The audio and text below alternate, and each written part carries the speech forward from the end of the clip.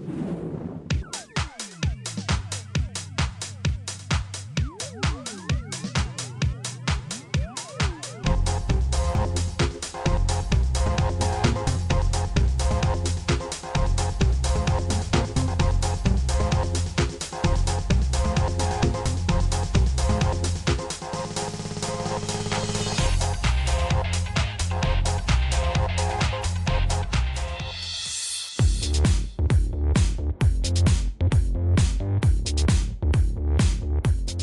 really wanted a very of the moment uh, package in our October issue on how we date now. The reality is dating is almost a passe term now. Nobody dates in the way that you know one did 20 years ago or 30 years ago. We went behind the scenes at Marie Claire magazine and what we asked our fashion editors and our features editors and, and people from beauty is the Devil Wears Prada fantasy or is it reality? It's funny their perception of what the magazine world really is.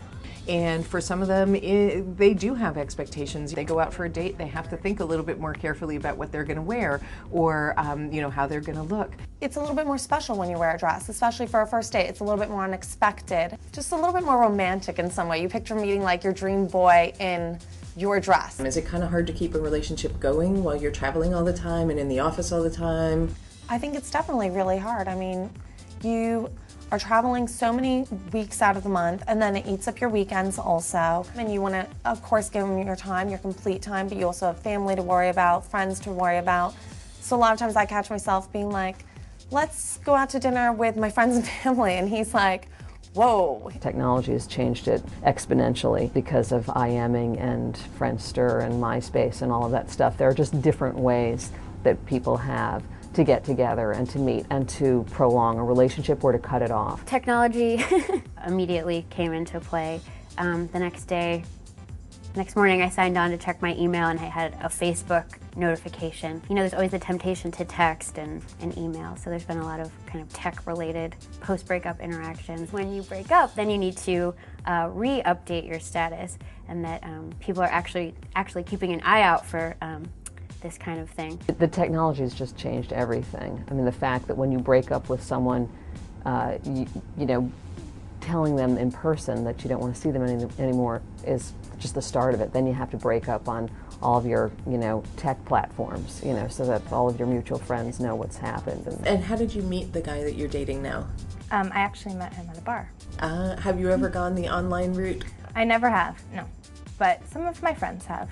So it, I think it's becoming more of a common thing, whereas in the past people it was kind of like a taboo thing. So um, it's just a convenience. You know you shop online you shop for a guy online. Women are you know expressive and aggressive and in control and in charge in many ways as you might suspect.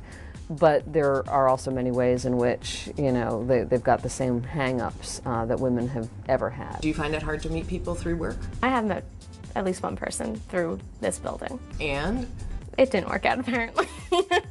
All my friends give me a really hard time about being too picky and having a really long list of deal breakers.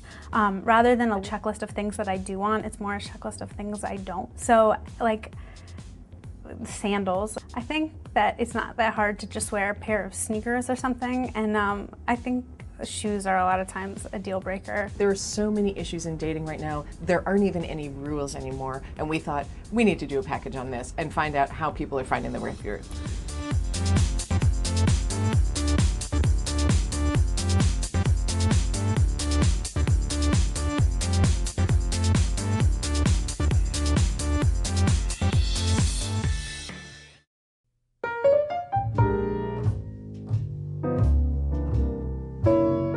Dove Intense Damage Hair Care repairs accumulated damage for fewer split ends. Your five days from beautiful hair.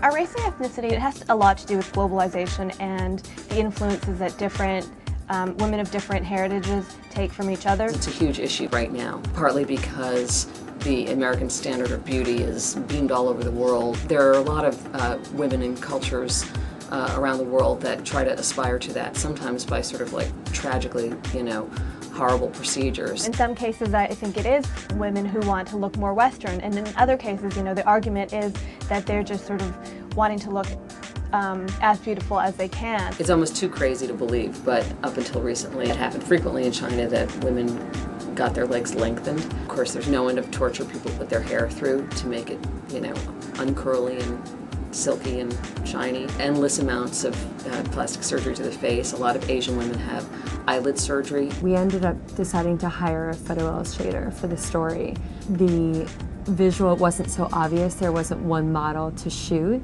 Um, with a story like this that's highly conceptual, and we've got an Asian woman and a Caucasian woman on the right, and we've got a pencil in between. Well, our keynote essay is by Rebecca Walker, who is a terrific writer and the uh, daughter of Alice Walker, of course, is a famous novelist. Rebecca is half Jewish and half black. It's an essay about how growing up, she really didn't see any other role models that looked like her, and as she's grown up now, she's really seen this evolve. The world is more open and accepting, and you know, it she's seen it as like a really positive evolution. I'm sure that our readers, as they become more educated, as they grow older, as they grow closer to their families, there is sort of um, a line where you cross where at one point you're probably fighting it a little bit, and then at another point you're probably embracing your heritage.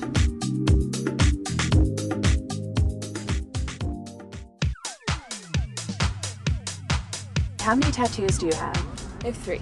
Um, I have this here, which is was my first tattoo. It is um, a quote from Albert Camus' The Stranger. Got it when I was 17, and it's uh, it was very much a. Um, it was in my existential period. It was very important to me at the time.